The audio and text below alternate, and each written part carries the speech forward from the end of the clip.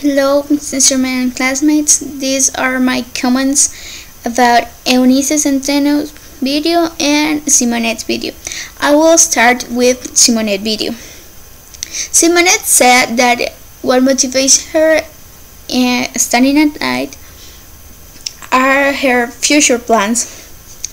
I think that is an amazing way to feel motivated because you, when you think that all the things that you can do if you get if you graduate from Zamorano is like you have a lot of opportunities. So that is a way a good way to feel motivated.